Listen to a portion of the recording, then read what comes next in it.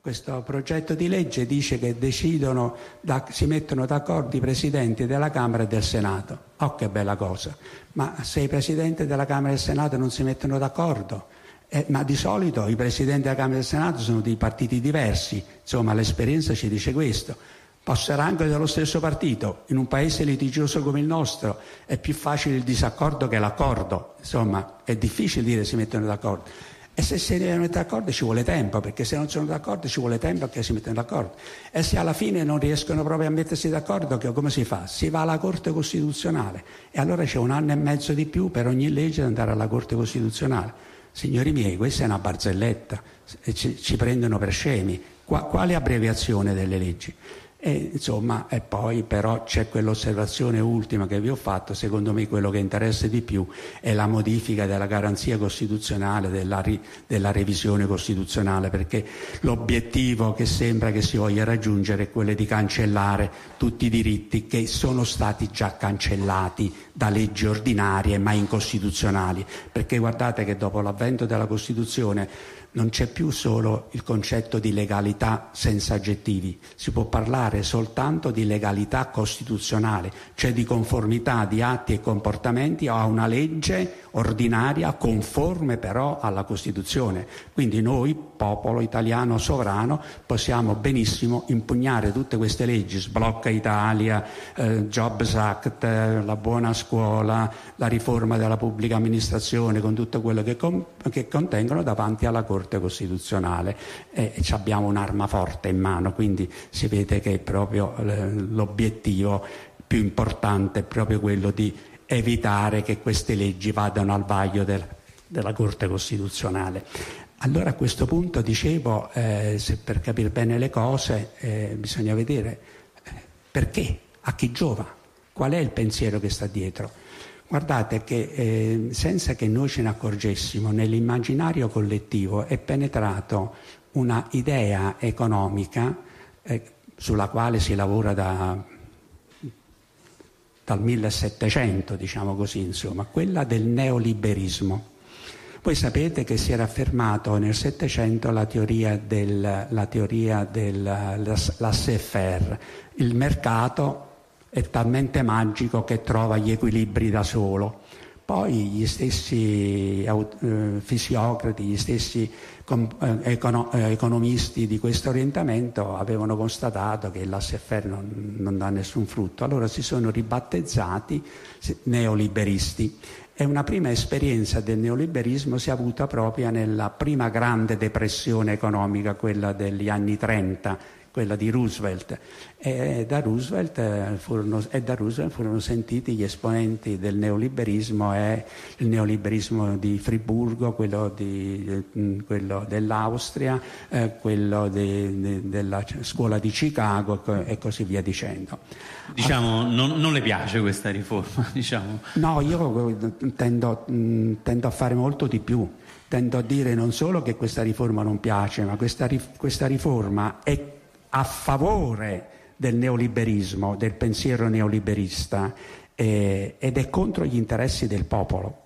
Questa riforma è una cosa che, che non viene detta, ma, ma, che adesso, secondo me adesso la, la nostra azione deve, deve, deve, cambiare strada. Abbiamo dimostrato, e che non c'è peggior sordo di chi non vuol sentire, abbiamo dimostrato che questa riforma non piace, non può piacere perché è inconcludente, è, è sballata, è contraddittoria, è tutto. Ma io voglio sapere a chi serve. Allora, per, per, per sapere a chi serve, io mi, va, mi, vado a leggere il pensiero economico. E cosa trovo nel pensiero economico? Che sin dalle origini, diciamo dal secolo dei lumi, si eh, si confronta la teoria del neoliberismo e poi in età più recente la teoria keynesiana. La teoria keynesiana è una teoria secondo natura, secondo la quale si parte dalla base, perché si parte dalla base sociale, che è una piramide, si parte dalla base distribuendo ricchezza ai lavoratori, distribuendo ricchezza ai lavoratori, i lavoratori vanno ai negozi, i negozi vanno alle imprese, le imprese assumono, producono, così si crea un circolo virtuoso. Secondo l'opposta teoria che addirittura risale alla SFR, e secondo l'opposta teoria è l'inverso, eh, ci vuole l'accentramento della ricchezza.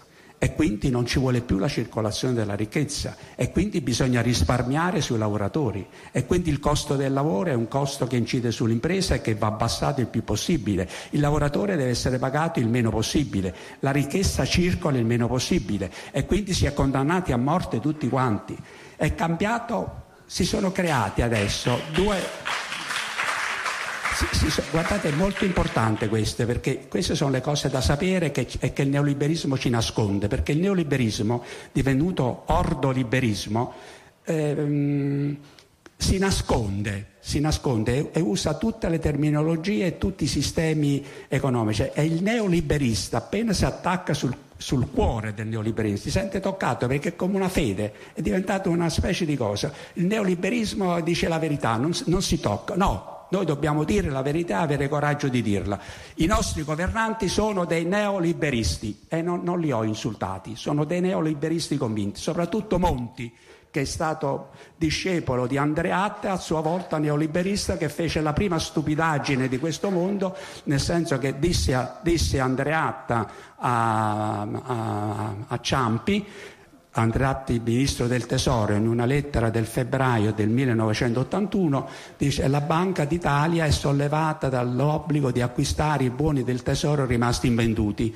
E Ciampi fece il suo gioco da governatore, disse va bene, ma eh, i, voi sapete i buoni del Tesoro venivano emessi dal Tesoro, cioè dallo Stato, con l'indicazione de, del tasso di interesse di soldi il 4%, e molti non venivano venduti. Allora la Banca d'Italia li acquistava, stampava moneta e noi andavamo avanti.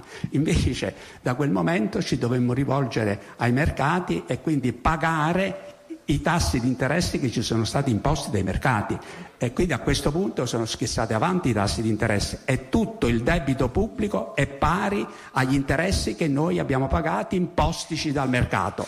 Eh, ma insomma eh, eh, Quindi lei ne fa una lettura economica, però eh, se io dovessi fare un contraltare dicendo faccio parte di una generazione più giovane che dice mi sono visto erodere molti diritti nonostante la presenza di questa Costituzione che ci piace molto, che ci dà molte garanzie, quindi io le chiedo un po' provocatoriamente, non c'è quindi nulla che dovremmo modificare nella nostra Costituzione? Per me la Costituzione va bene, però eh, mi lasci dire che la sua domanda deve essere io non ho più diritti, ma chi me li ha tolti questi diritti?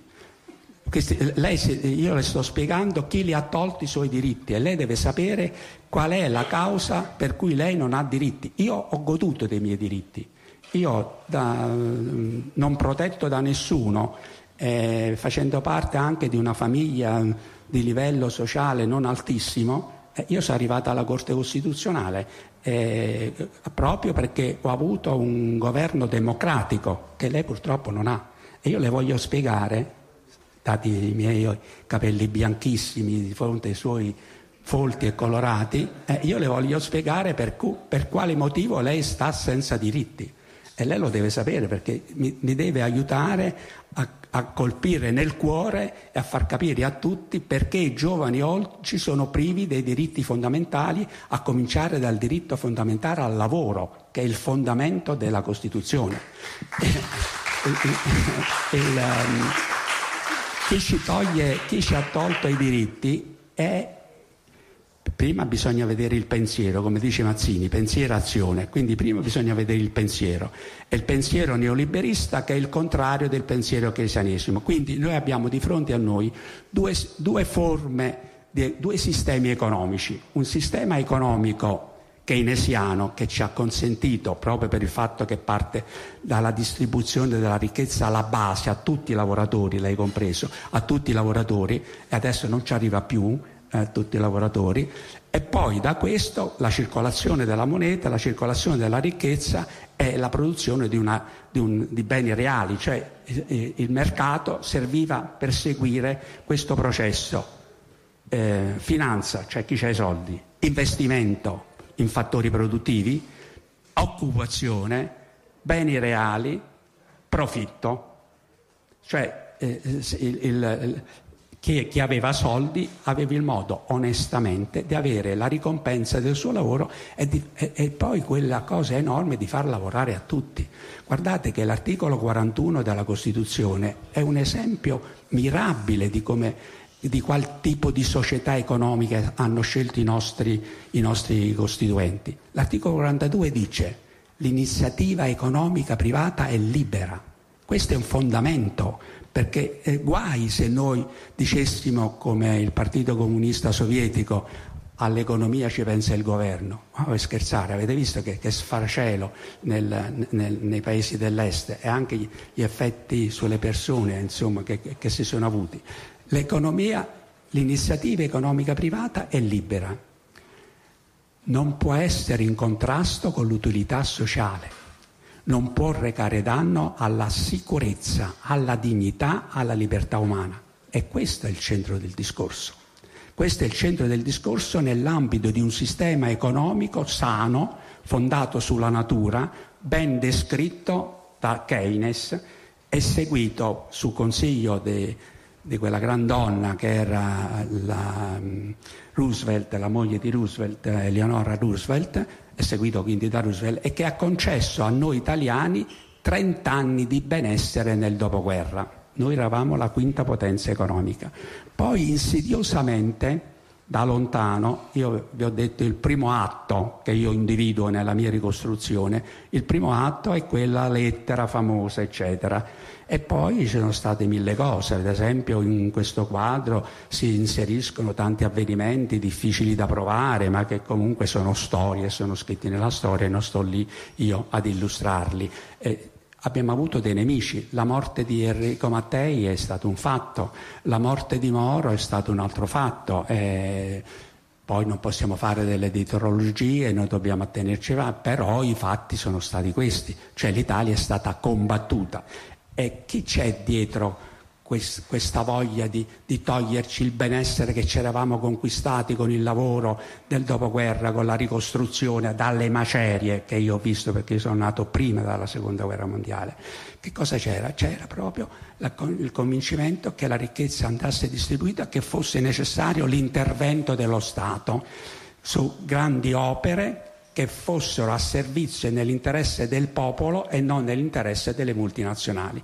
Invece è, è venuto fuori, disgraziatamente c'è sempre qualcuno che, che, che deve, deve, rompere le uova nel paniere, esce fuori un Milton Friedman del 1960 che scrive un libro, La storia della moneta americana, dal 1867 al 1960, dove rivaluta il neoliberismo. Eh, le lobby americane non volevano altro, ci si sono buttati sopra. Innanzitutto ha voluto fare il bello Pinochet e ha privatizzato tutto nel Cile riducendo in miseria povero, i poveri cileni.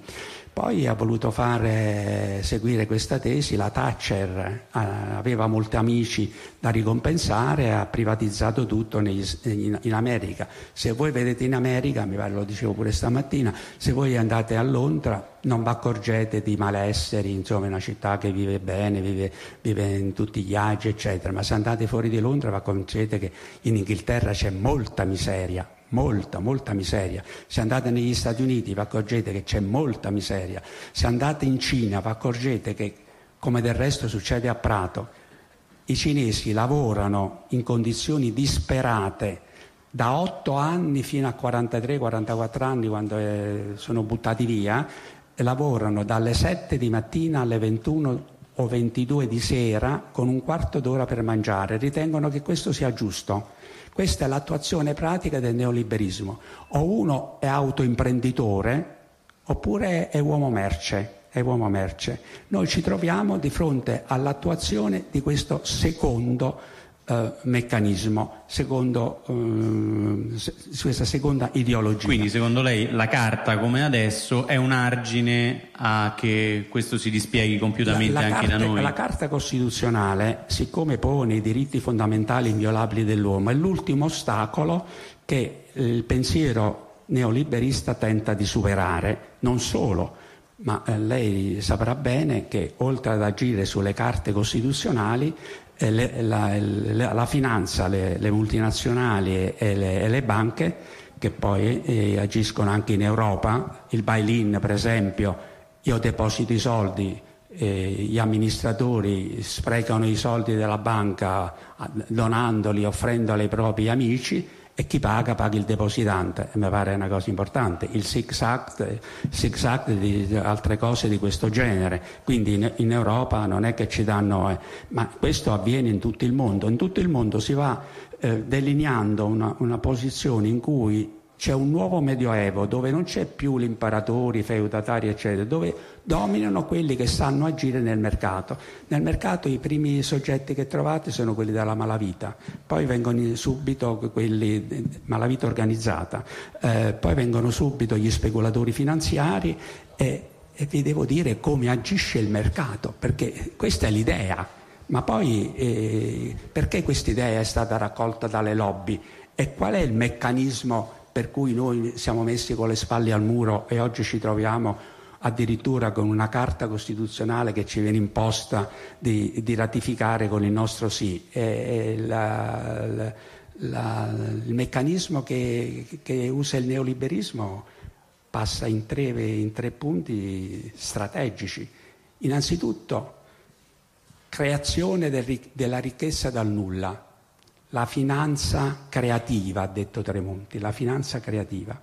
Guardate che eh, nel momento ba- le banche, eh, che poi sono state tutte privatizzate, poi vi parlerò delle privatizzazioni, il primo punto del meccanismo in cui il pensiero neoliberista, cioè quello che vuole pochi ricchi, molto ricchi e tutti i poveri che servono i ricchi, evitando la circolazione della, della, ricchezza, la circolazione della moneta, quello che stiamo vivendo ormai da, da una ventina d'anni, insomma, dagli anni Ottanta in poi stiamo vivendo questo, sempre peggio, sempre peggio, sempre peggio, eh, poi ci vengono a dire aumenta l'occupazione 0, 0,1%, no non è vero perché poi da quest'altra parte abbiamo, c'è più zero, eh, ma ci stanno a prendere in giro tutti quanti. E guardate che queste sono cose studiate, c'è l'ordoliberismo, una specie di scuola di Ropke la quale dice noi dobbiamo essere attendisti, arrivare di momento in momento nelle, nelle ha sentito dire Berlusconi tante volte meno Stato e più mercato,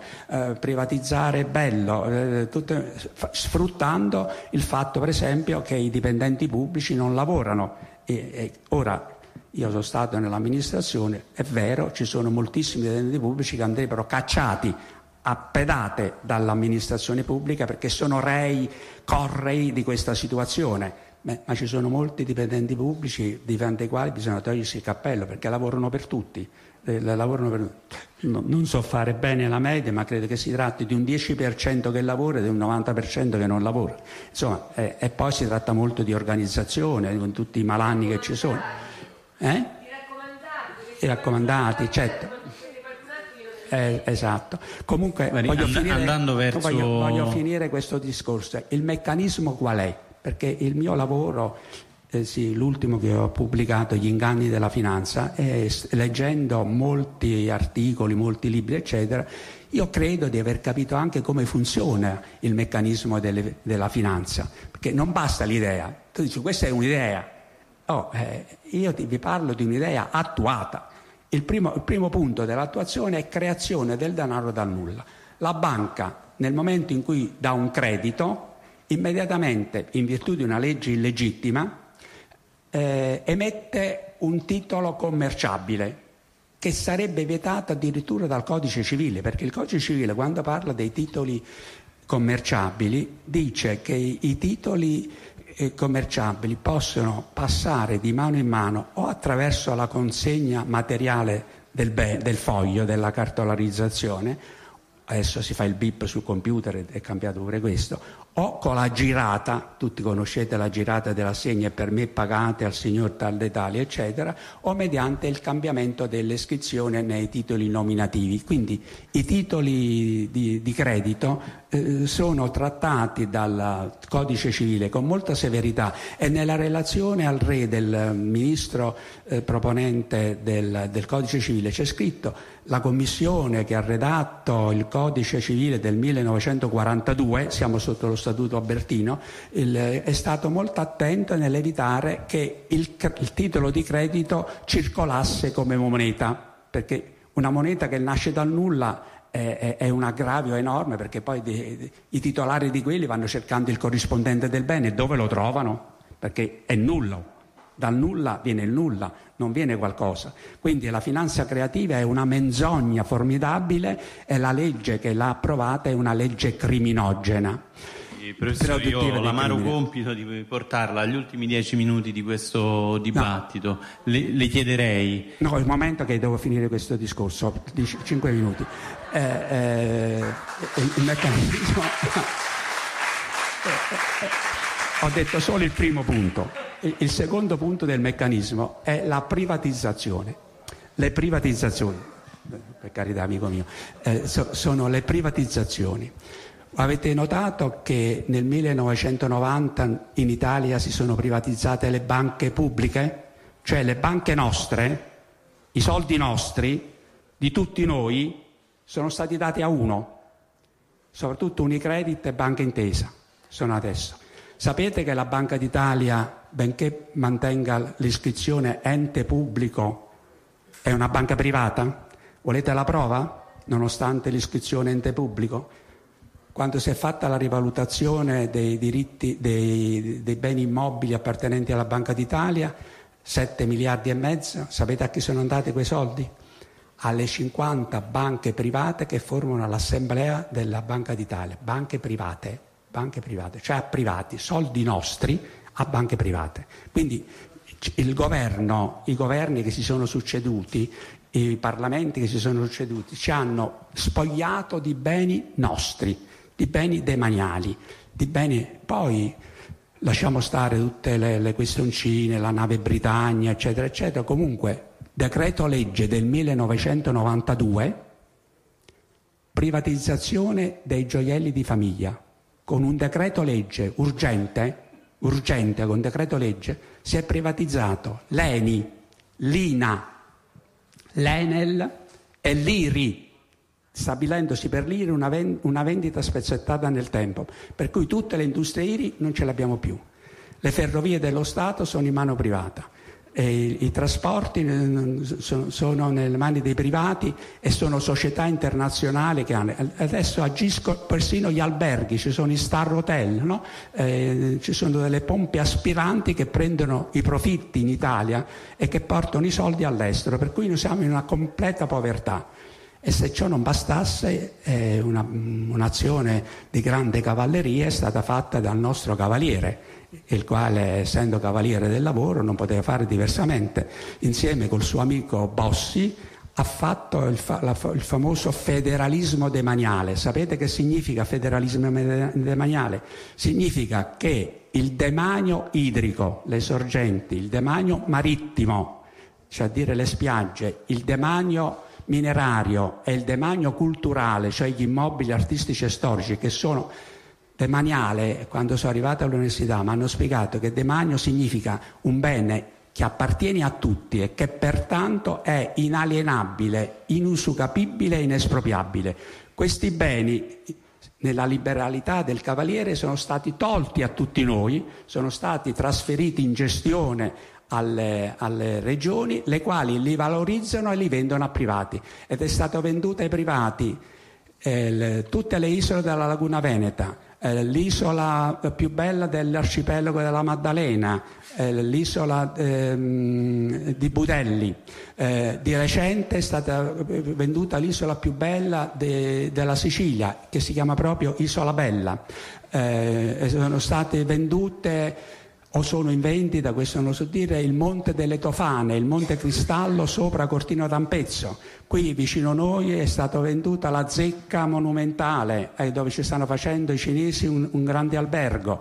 Eh, la, I beni artistici e storici, se vi leggete un po' la pagina di eh, di, mm, di, Montanari, di Tommaso Montanari, un elenco enorme di, di, beni a Firenze, in tutta Italia, di beni artistici e storici che sono demonio nostro, sono venduti e pensate che su tutto questo se, se, eh, il governo, il governo uh, di Tremonti ha fatto anche la cartolarizzazione degli immobili da vendere, cioè dire io mi faccio, emetto delle obbligazioni, prendo subito i soldi e poi quando vendo i, i, i beni pago le obbligazioni e se i beni non si vendono resti, resti col, col, con l'obbligazione in mano, come è successo del resto poi. Insomma. Comunque il, il, progetto di Monti di, di vendere tutta l'Italia con 2.000 miliardi di ricavato è fallito, sapete c'è stata varie opposizioni, ma ciò nonostante noi continuiamo a vendere e viviamo sul capitale che viene, che viene continuamente svenduto.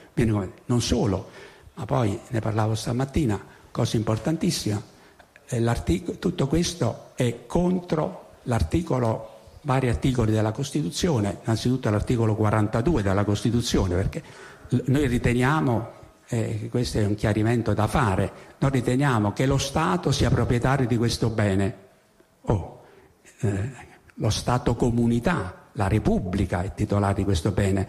Quando diciamo Stato, persona giuridica, intendiamo la pubblica amministrazione. La pubblica amministrazione gestisce questi beni, non li può vendere. Questa è una specie di appropriazione indebita è, è roba da giudizio penale. Questo è stato fatto con legge e noi queste leggi le possiamo portare davanti alla Corte Costituzionale, le possiamo portare tutte davanti alla Costituzionale. E questo è il secondo elemento del meccanismo. Ma poi, in una visione dell'economia generale, nella quale anziché fare il percorso finanza, prodotto, investimento, prodotto, finanza, quindi cose positive, quindi diciamo di fronte a un sistema economico produttivo che ci ha provocato 30 anni di benessere, si sta sostituendo e ormai dagli inizi degli anni Ottanta siamo molto avanti nelle svendite di tutto e noi non ce ne accorgiamo, pensiamo che siamo tutti addormentati, eccetera, si sta sostituendo un altro sistema economico, che è un sistema economico fondato sul percorso finanza-finanza, cioè io compro dei prodotti finanziari, cioè compro delle cartolarizzazioni che più o meno o addirittura dei debiti trasformati in titoli commerciabili che sono i derivati. E sapete qua, quanti derivati stanno nel mondo? Secondo, secondo una, una, statistica del, mille, del 2010, non, non, c'è ancora una statistica più recente, 1,2 quadrilioni di dollari, 20 volte il PIL di tutti gli stati del mondo. La finanza ha i piedi di argilla, riprendendoci i nostri poteri sovrani, potremmo farla crollare con un semplice atto di legge nostro, anziché essere asserviti e, e fare una Costituzione al loro servizio. Perché a questo punto,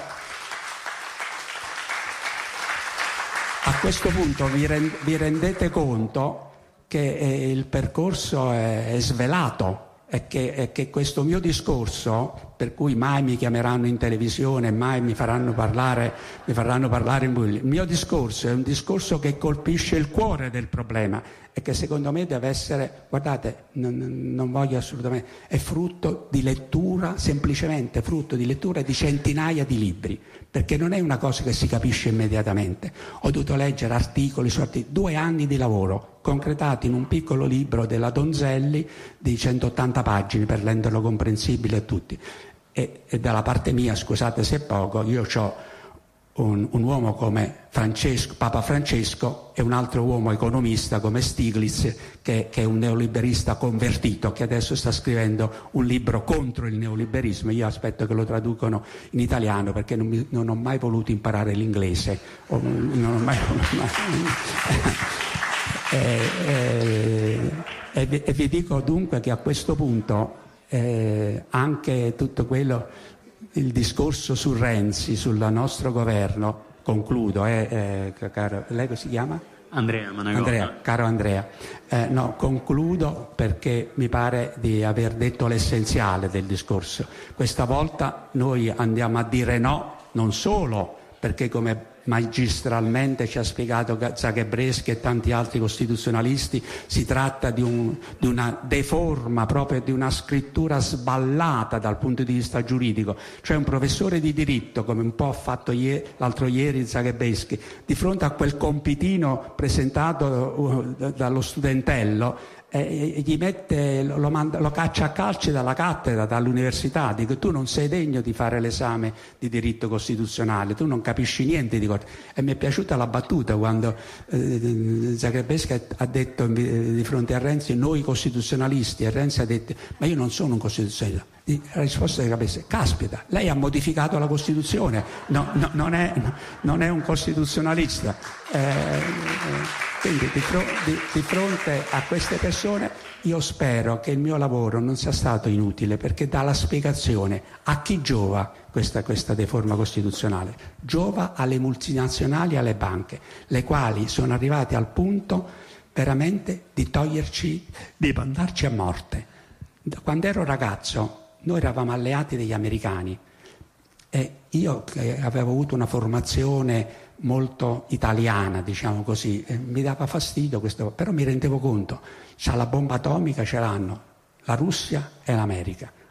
Che vogliamo stare con i russi o con gli, o con gli americani?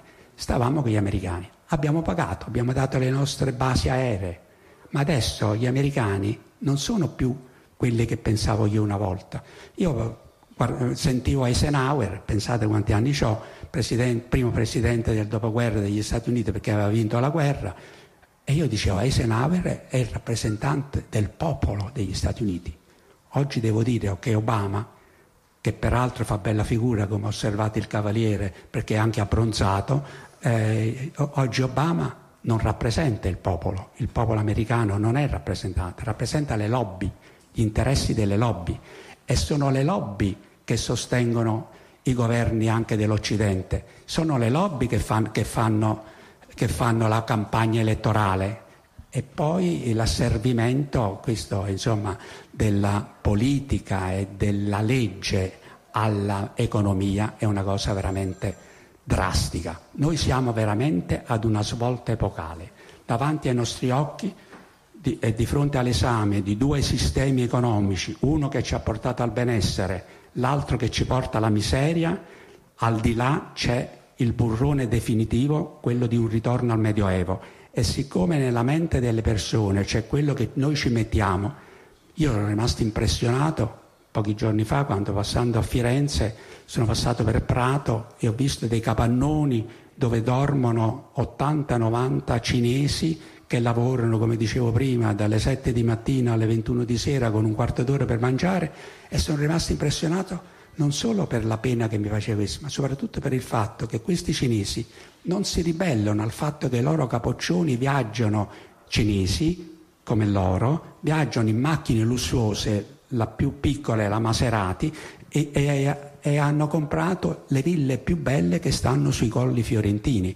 Quindi il pericolo è che si instauri un nuovo Medioevo. Noi per uscire dal Medioevo abbiamo avuto il secolo dei lumi, abbiamo avuto l'illuminismo, abbiamo avuto la rivoluzione francese e ce n'abbiamo messo per, per uscire fuori da questo. Se noi adesso cadiamo in un nuovo Medioevo, io non so quanti millenni ci vorranno poi per uscire, perché il, la gente che agisce, magari sa, il vecchio feudatario c'era, c'era, imperante il cristianesimo, ma in un mondo completamente secolarizzato, dove non si pensa più a nient'altro che alla materia, dove l'idea suprema di Dio sembra, un, sembra una cosa non vera, eccetera, eh, quale sarà la fine del nostro, del nostro Noi ci troviamo veramente ad esercitare, in, nel momento in cui andiamo a votare, una, un qualcosa di una responsabilità enorme ed è per questo che la mia veneranda età di anni 80, io sto girando l'Italia in lungo e in largo e non devo fare carriera politica e non l'ho mai fatta, figuriamoci se ci penso a quest'età quando ci si ritira dalla politica, ma perché sento nel mio animo che i miei connazionali stanno per vivere un'epoca veramente difficile. E non solo i figli e i nipoti miei e, e, e tutti i miei connazionali, ma tra poco, perché ci stiamo avvicinando alla fine, quando abbiamo finito di svendere l'Italia. L'Italia non è infinita, l'Italia è piccola. Quando abbiamo finito di svenderla, quando non sappiamo più come fare per pareggiare il bilancio, e ci gioca molto anche la Germania, la quale dice dovete fare l'austerity e dovete fare il pareggio di bilancio che, che il, il, il, il, figlioccio di Andreatta Monti della Bocconi ha messo in, in, in Costituzione ed sarebbe la prima cosa da togliere dalla Costituzione. Ehm, e, noi finiamo veramente, veramente male. Ma non vi voglio lasciare solo con un'idea triste, vi voglio dire ed è, ed è, questo il motivo che mi spinge a parlare a voi e sto, vi assicuro, sto girando l'Italia in continuazione con i rimproveri di mia moglie all'orecchio, non potete immaginare quanto, quanto si è arrabbiata mia moglie perché per il fatto che vado girante ed è, eh, sono a questa età dici dovresti stare più calmo, eccetera, ma io rispondo a un, a un interrogabile bisogno interiore mio, che poi corrisponde anche ad un articolo de, de, della Costituzione. Nella Costituzione c'è risposta a tutto, anche al, al mio stato d'animo. Articolo 52 dice della Costituzione difendere la patria è dovere sacro del cittadino. Noi dobbiamo, dobbiamo tenere presente questo e difendere la patria in questo momento significa innanzitutto dire a Renzi, caro mio, sarai in buona fede, la buona fede si presume, noi te la diamo, non vogliamo sapere altro, ma guarda che stai facendo delle grosse sciocchezze, stai dicendo delle grosse menzogne e noi, tua, alla tua deforma costituzionale sulla quale tanto tieno, con piena coscienza risponderemo all'unisono no. Grazie, giudice Paolo Maddalena. C'è qualche domanda dal pubblico per il giudice?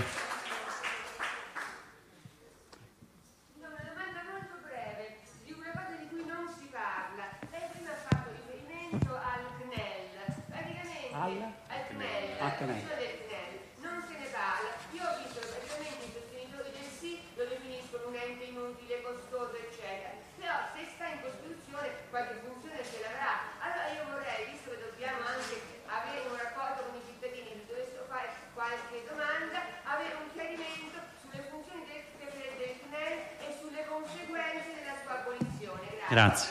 Sì, a me duole molto eh, non parlare bene come vorrei di tutte le istituzioni, però devo riconoscere che il, per la mia esperienza il, cana- il CNEL è un ente inutile e il CNEL risente molto poi dell'idea fascista di tipo confederativo insomma, delle corporazioni. Il CNEL dovrebbe essere il luogo in cui i lavoratori e i datori di lavoro si incontrano. Per non ha funzionato.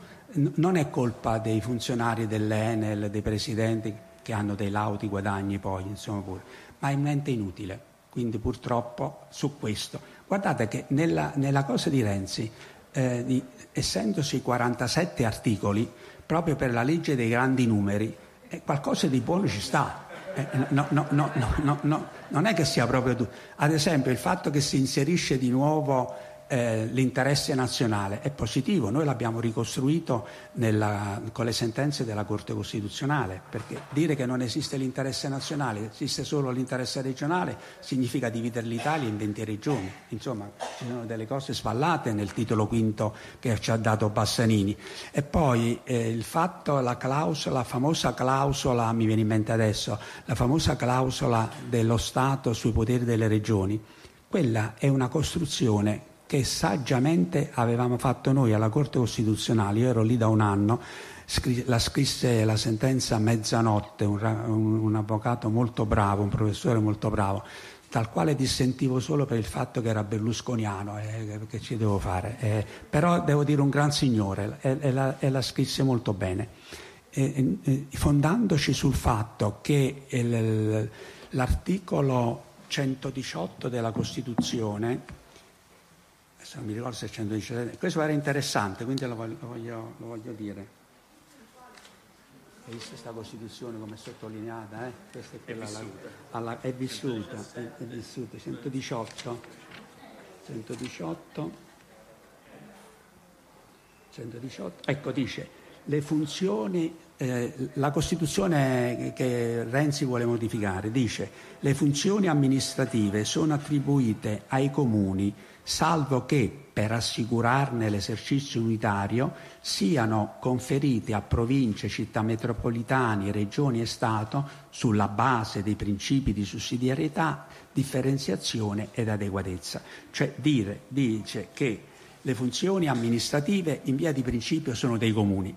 Ah, questa è una delle fantasie di Bassanini. Io quando incontrai Bassanini, erano i tempi della legge Galasso, collaboravo con Galasso con la legge Galasso, non mi ricordo più dove, ma insomma mangi, cioè, ma pranzammo insieme. Io dissi, Dio mio, se questo fa carriera, questo rovina l'Italia. In realtà lui ha scritto le sue cose che a me sembrano fantasiose sulla Gazzetta Ufficiale perché aveva la, eh, il pieno consenso di D'Alema, segretario del PC, e quindi lui ha fatto tutto. E ha scritto questo, questa, l'architettura è che i comuni hanno tutte le funzioni amministrative. Però per fortuna che ci ha messo questa cosa, salvo che, questo è molto importante dire, per salvaguardare, per assicurare l'esercizio unitario delle funzioni, che il comune ha funzioni limitate al, al territorio comunale, per assicurare l'esercizio unitario delle funzioni, siano queste funzioni amministrative attribuite non si sa da chi, però è chiaro che è stesso lo Stato che le prende, che se le prende, che qui fu una cosa, le città metropolitane, regioni e Stato, sulla base dei principi di sussidiarietà. Cioè, praticamente eh, la sentenza 200, eh, del 2003, la sentenza numero 3 del 2003, firmata mezzanotte, e c'è anche la firma mia come componente, abbiamo dato un'interpretazione di, di quest, importante di, questa, di, questo primo comma dell'articolo 118. Cioè abbiamo detto, siccome non si vuole parlare di interesse nazionale, noi abbiamo detto quando la questione non interessa soltanto gli abitanti di un comune, ma gli abitanti di molti comuni o addirittura tutto lo Stato, lì si trattava poi della legge obiettivo, che, alla quale poi ci teneva molto mezzanotte, io sulla legge obiettiva avevo tutte le mie riserve che, che mantengo tuttora, quella eh, famosa di Berlusconi. E, insomma, effettivamente non è che si può dire io faccio una strada o, o una via ferrata da Palermo a Trieste e la competenza è delle regioni, ma insomma bisogna dire che in questo caso niente, eh, decide la comunità nazionale, l'opera è talmente grossa che è di interesse nazionale. Tuttavia in quella sentenza noi fummo attenti a mettere una cosa, siccome però le regioni hanno il governo del territorio, noi dobbiamo fare un tracciato che non disturbi il governo del territorio delle regioni e quindi bisogna fare un'intesa con le regioni, secondo il principio di sussidiarietà. Sussidiarietà è l'aiuto, il sussidiario che tenevamo a scuro una volta, cioè lo Stato viene incontro ai comuni, alle regioni, eccetera, dice guarda, io faccio io tutta l'opera e la pago pure, però io chiedo a te regione che ti devi occupare del governo del territorio, quindi della tutela anche del, del territorio, chiedo a te che tu mi dia l'intesa su questo percorso che, che, io voglio fare. Quindi credo che noi avevamo risolto le cose su un piano veramente sostanzialmente giusto.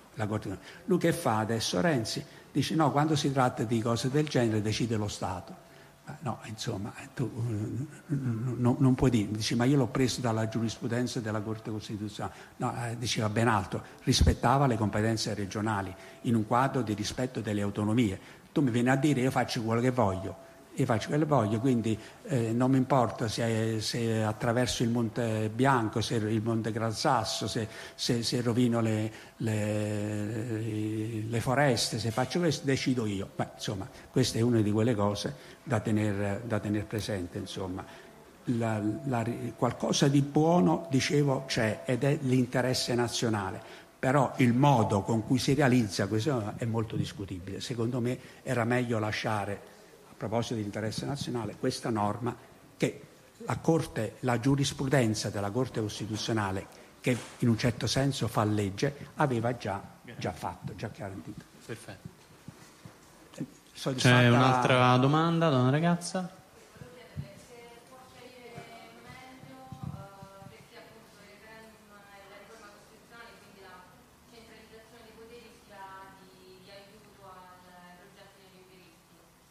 No, no, non ho capito perché la concessione.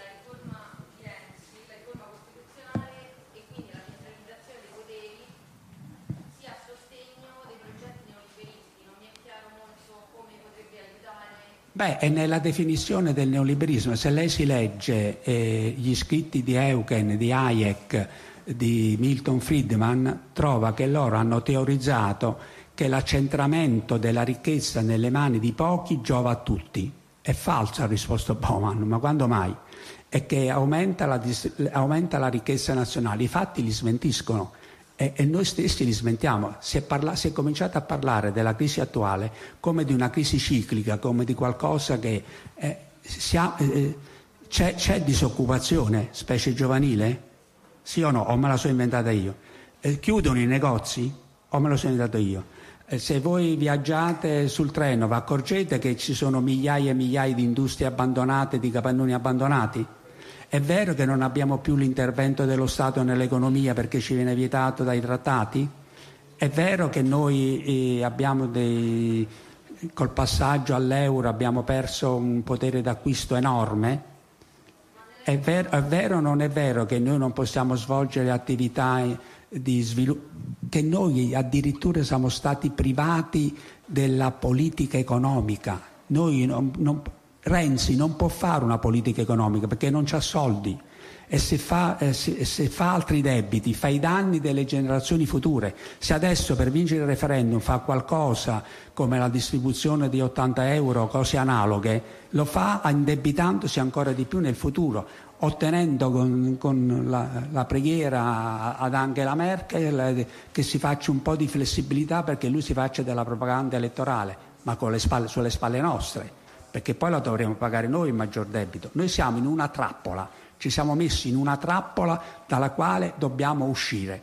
Adesso stasera io non vorrei affrontare il tema del, del, dell'euro, eh, de, del, vi dico solo che io sono a favore dell'Unione Europea, nel senso che mi rendo conto che in un mondo globalizzato, guardate è globalizzato quanto a, ai capitali, ma non quanto ai popoli e quanto alle nazioni. I popoli e le nazioni sono e devono, per diritto, lo dice anche Papa Francesco in Laudato Si, essere diversi perché la, la grandiosità del creato sta nella diversità. Non, non, è che noi dobbiamo essere uniformati, tutti, essere tutti americani e fare tutte le marionette eh, o essere tutti come i cinesi, insomma, ognuno deve avere le sue, le sue, caratteristiche personali, però è necessario in questo mondo in cui funo, ci sono aggregati umani, stati molto grandi, pensate la Russia quanto è grande, la Cina, eh, gli Stati Uniti, eccetera, io dico dovremmo fare gli Stati Uniti d'Europa questo allargamento a est è stato un po' discutibile, addirittura si è detto di far entrare la Turchia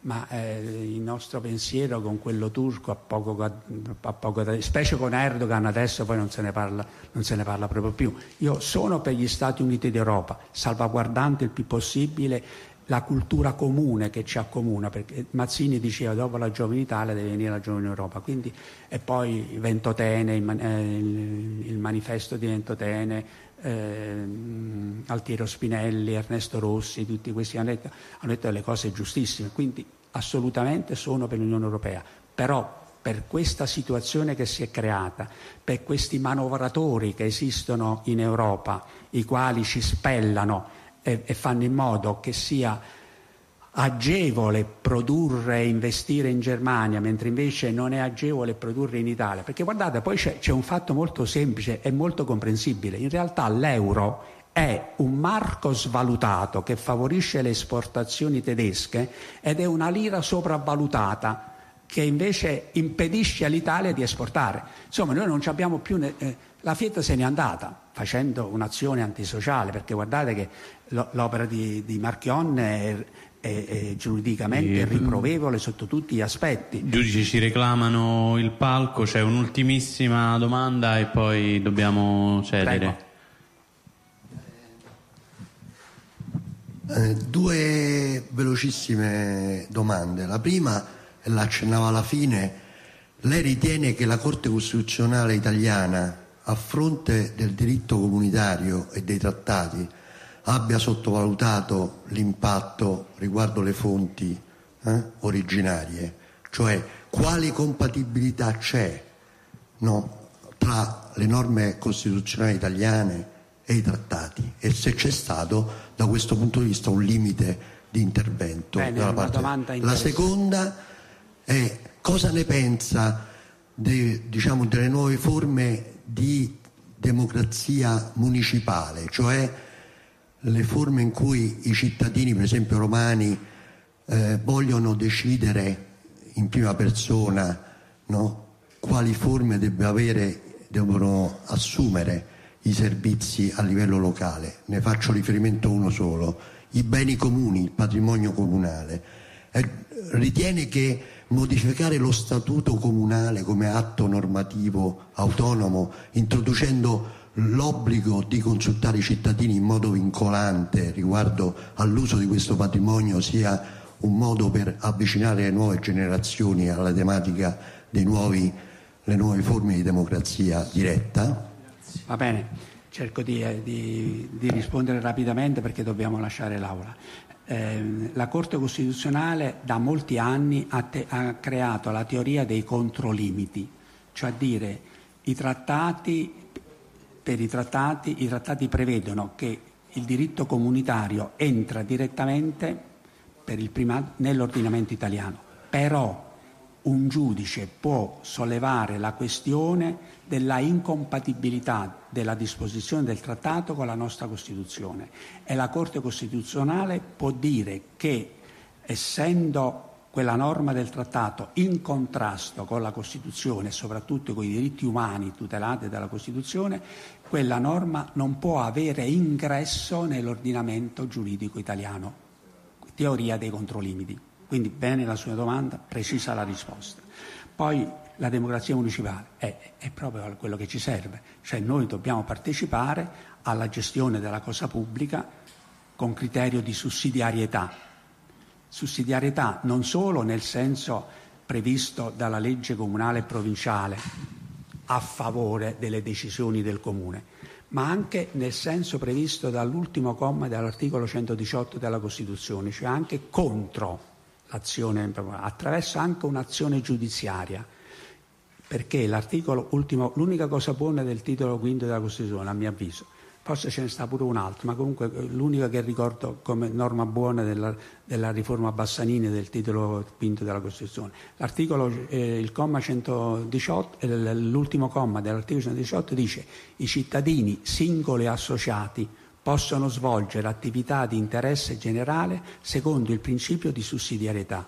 Se il sindaco sbaglia, lo si può portare in giudizio, impugnare la delibera per esempio davanti al TAR, eh, proprio come parte della comunità. Adesso per fortuna dopo il porcellum, l'annullamento del porcellum da parte, si è aperto un varco, perché dovete sapere che il nostro codice di procedura civile, informato ai principi individualistici del, del, dell'attuale neoliberismo e della vecchia borghesia, perché quella è una continuazione della borghesia, dice l'articolo 100 del codice di procedura civile, nessuno può agire in giudizio in nome proprio e nell'interesse altrui. E quindi ognuno, il, la famosa frase che mi hanno ripetuto tu fatti i fatti tuoi, no? Che, che, che, che cosa Invece no, eh, vale il principio romano in cui il cittadino, il civis, il cittadino è parte della comunità e come parte agisce senza obbligo di rappresentanza nell'interesse proprio e nell'interesse altrui se si tratta di beni comuni.